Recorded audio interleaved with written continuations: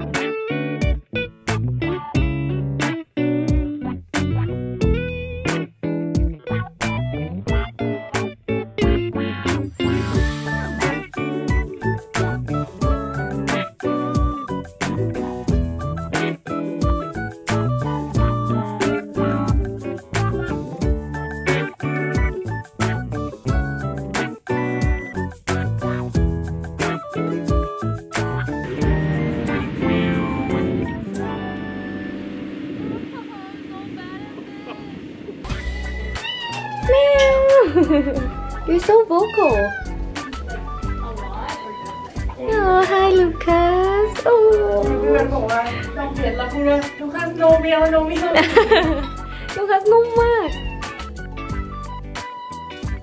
Happy birthday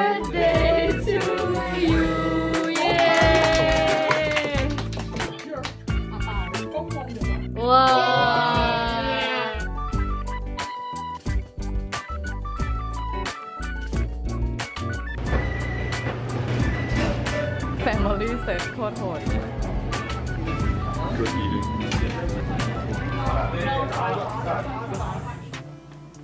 Hi everyone, I'm back home in Boston now, and before we continue, I would like to introduce our sponsor for today, which is HelloFresh. If you don't already know, HelloFresh is America's number one meal kit. They deliver fresh, pre portioned ingredients right to your doorstep, and I'm so excited to be working with them again. As someone who frequently struggles with low moods and finding the motivation to get out of bed and cook myself a meal, HelloFresh has been such a big help for me this week in taking care of my body. They've prepared some amazing seasonal flavors for me to try, and here you can see me cooking their black bean and poblano pepper quesadilla, which I've never cooked before. If you're like me, I sometimes find myself stuck in these recipe ruts where I cook the same meals over and over again, but with HelloFresh, I was able to try out delicious new recipes that I've never tried. They offer a variety of dietary options like pescatarian, vegetarian, and they also offer family friendly meals, so I was able to choose everything that I wanted to try this week. Everything I've made with HelloFresh has been so delicious so far. It's very quick and easy. It never takes me more than 20 to 30 minutes to prepare a meal. It has definitely saved me the stress of grocery shopping and meal planning. And what I love most about HelloFresh is that they promote the use of sustainable packaging and their pre-portioned ingredients helps decrease the amount of food waste in your household as well. So today you can go to hellofresh.com slash made by Malin14 and use the code made by Malin14 for up to 14 free meals and 3 free gifts. Thank you again to HelloFresh HelloFresh for sponsoring this video and happy eating to everyone. Oh, thank you.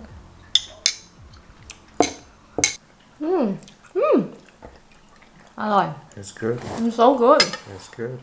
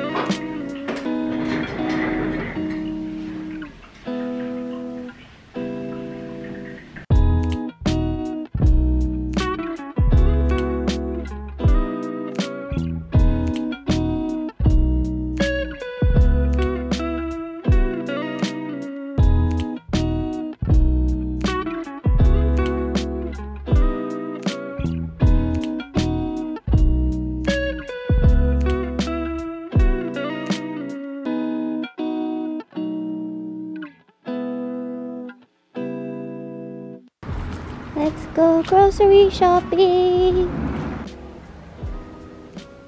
Our apartment has been super dry and my skin is actually like peeling off on my forehead and nose so if, if you can see that I'm sorry. So I'm about to go to H Mart for some grocery shopping and yesterday I was catching up with the BTS in the SOOP episodes and in episode 3 Jungkook and Yoongi were making um, suyuk which is like some braised pork belly stew type thing. So I'm gonna grab pork belly, veggies, and probably some Korean snacks. I'm not sure yet. I'm just gonna look around. I have little flowers on my skirt.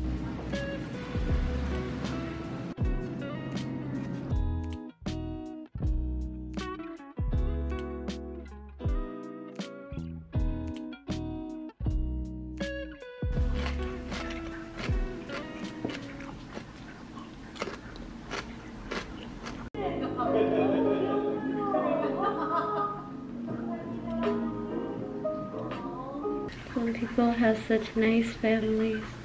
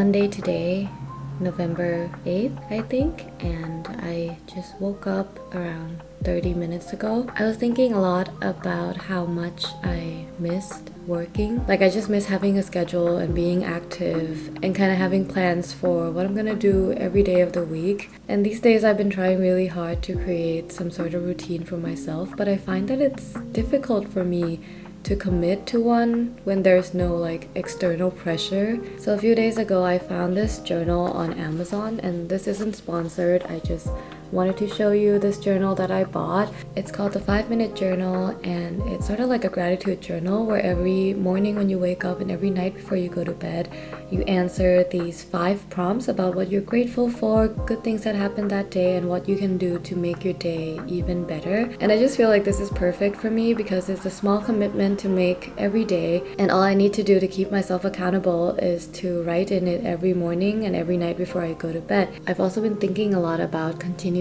my education and taking some sort of certificate program because I think I function the best when I constantly learn something new. I really enjoy working as a freelance artist and I really really love that I had my own business. I know it's a privilege to have your own business, but I just feel like there's so much more for me to learn, especially in like the digital art and design field. And I've always wanted to study art since high school, but I psyched myself out because I thought, you know, artists don't make any money. But it's been 10 years since then and I've moved to this new country where the field of art and design is actually really loved and appreciated appreciate it. I just feel like it's my chance to expand my horizons and learn all the things that I've always wanted to learn when I was younger. I hope that having some coursework to do and something to look forward to weekly would help me feel more grounded and more in control of my life in like a positive way.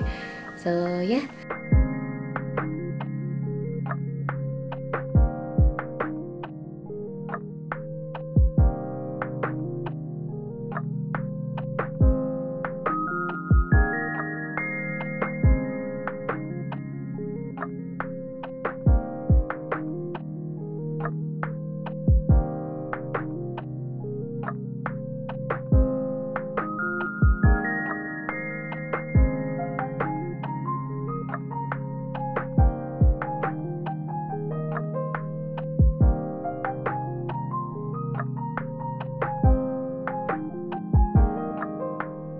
Today we're gonna cook this spaghetti sauce with cod roe. Very exciting.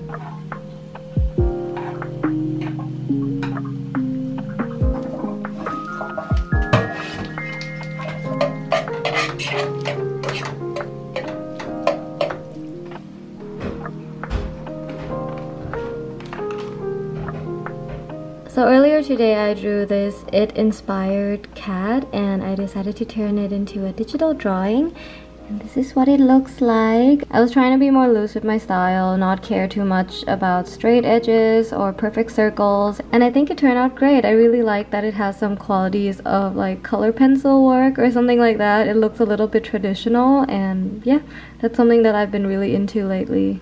Hi again, it's only 3.30 p.m., but the sun is already starting to set daylight savings and winter just makes me feel tired really easily because it gets dark so quickly. So something that I've been thinking about lately is conditional love versus unconditional love. And with conditional love, it implies that you need to behave or act or be a certain way in order to deserve love from someone. And I've been thinking about that a lot because I feel like I experienced that as a child um, growing up. And now, as an adult, I find it difficult to accept love from other people when I haven't done anything for them. And for many months now, my therapist and I have been working on like the technical stuff, like healing from childhood wounds and uncovering past trauma. But I wanted to bring this up with you guys because I feel like I see this pattern of me expecting to be loved under a condition